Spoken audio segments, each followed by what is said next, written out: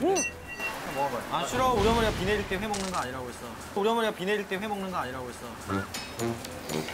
파이팅 했잖아. 맛만 좀 봐봐. 안 돼.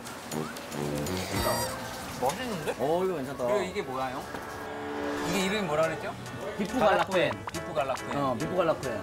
이게 보니까요, 살짝 익혔네. 어, 어. 고기를. 미림으로 익혀가지고. 이게 소, 소고기네. 근데 살짝만 익히면 또 소스가 잘 스며드니까.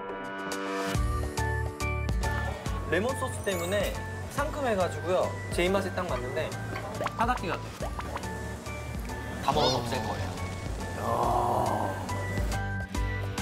담백하다, 이거. 응. 그리고 요거는 red rice. 고추장 밥 아니야? 고추장? 이건 뭐가 들어갔지? 이게 매워서 빨간색이 아닌 것 같은데? 그러니까 색깔이 매운 건 아니다. 맛이 진짜 궁금하긴 하다.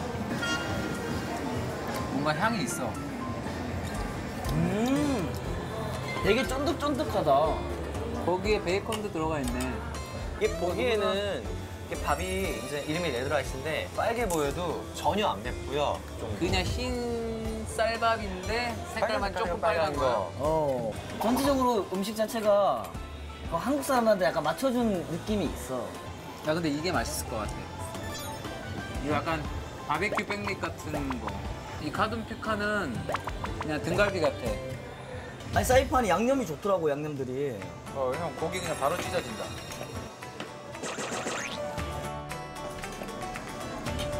와. 와. 돼지갈비는 손으로 뜯는 맛이 있어. 음. 맛있다.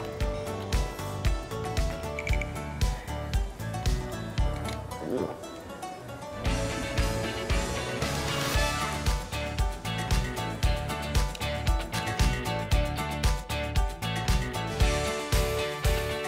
거의 다 먹었어요. 이 마무리할 거야.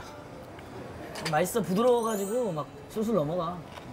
슬슬 어, 또 하나 시켜줘? 음. 저희 체크 좀 해주세요.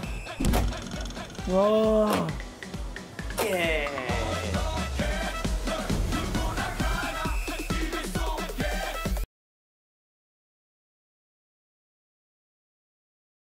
취향의 발견 Olive